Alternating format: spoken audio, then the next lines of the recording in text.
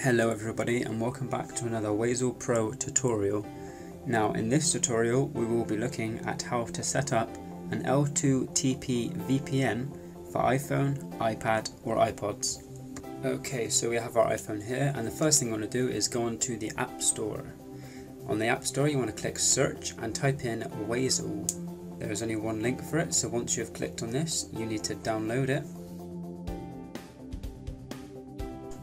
and once it's downloaded you want to open it up and here you will need to sign in with your Wasel Pro email and password. Once you have clicked to log in, you'll be met with this page here and what you guys want to click on is change server. Then select the appropriate one to yourselves, mine is the UK and click on change server. Once that is loaded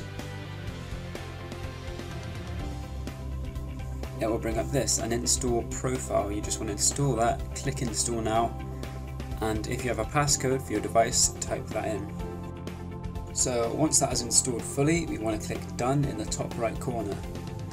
This will take us back to our app and now is actually just going to play a little video just below there and it just shows you what you have to do next. So we need to go into our settings and slide that little bar across to allow our VPN to connect.